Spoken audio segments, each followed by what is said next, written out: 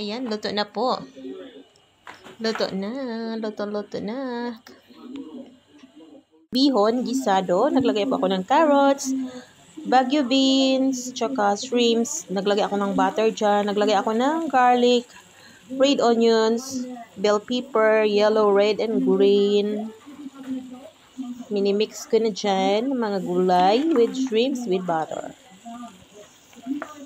Magsusuti po tayo ng ating vegetables with shrimps. At naglagay ako ng butter. I add butter kasi with, ma, lalong masarap po ang ang shrimps tsaka yung veg, vegetables.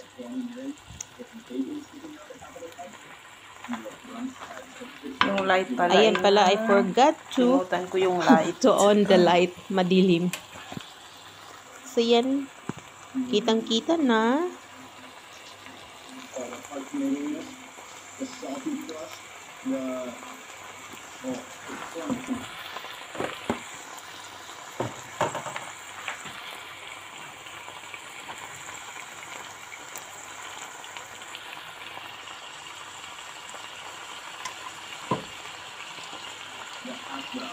Yan, natunaw na po yung butter. Tunawin natin yung butter. At then, lutuin natin yung shrimps. Yan.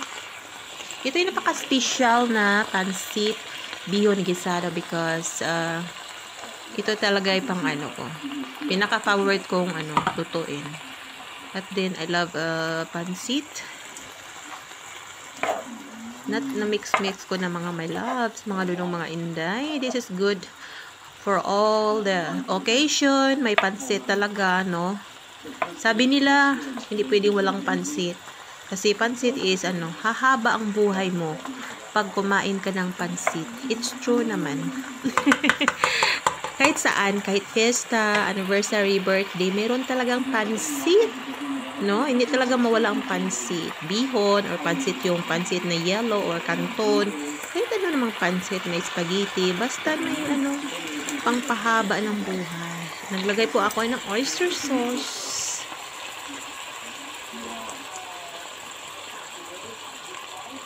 Naglagay ako ng oyster sauce. Ayan.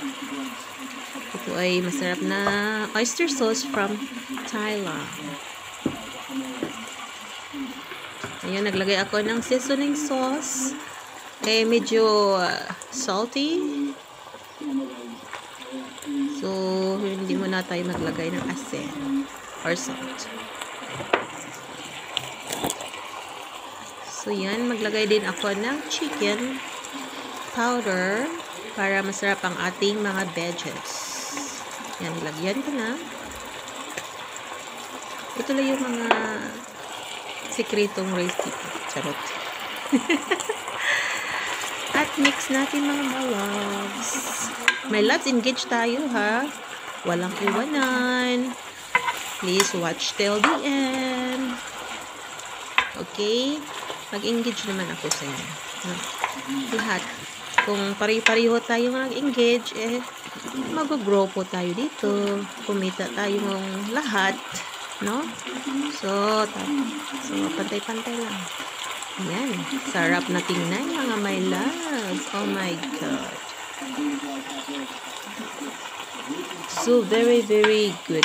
Darling, can you slow down?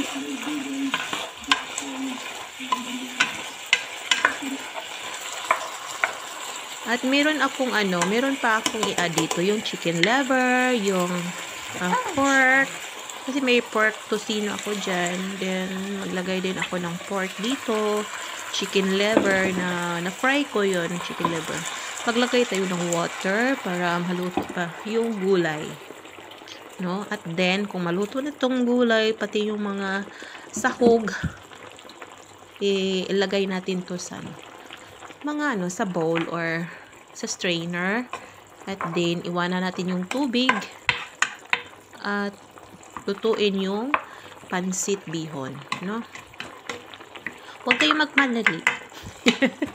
watch, watch mo. Nahantod. Na maumanta. So, black pepper powder. Ayan. Siyang naubos ito lang black pepper powder ko. Pampasarap. Kunting asin. Ayan.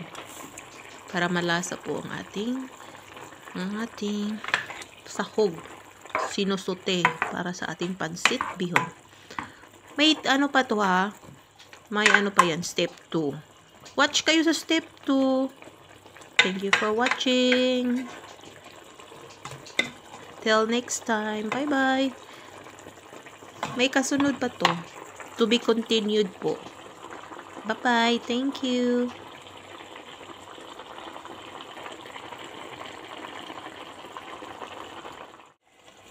Ayan. Nilagay ko na ang bihon.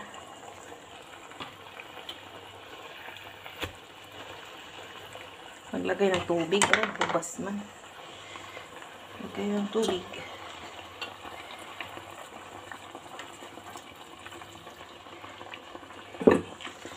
O. Yan ang ating para sa ating bihon. Maraming toppings.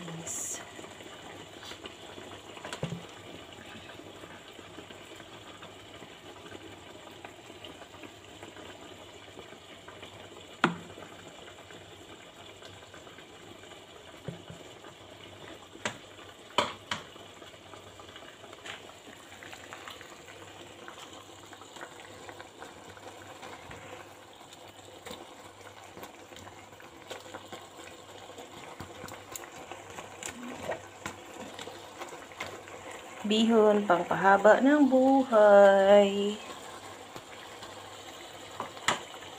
Ayan, luto na.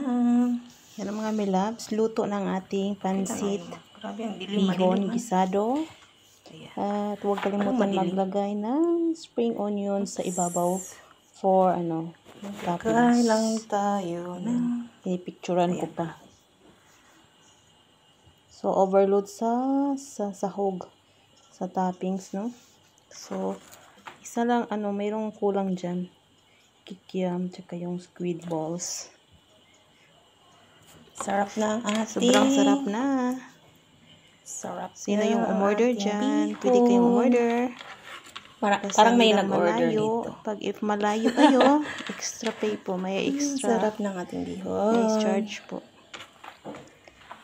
Ito na. So, pwede kayo mag-order or 5 days before. Kasi magbili pa ng mga ingredients. Alam mo na. So, 5 days before po. Dito lang sa ano, dito lang sa Leipzig. Kung naka ano na malayo-layo na talaga. So, mahal na kasing gasolina. Thank you for watching everyone. See you next recipes.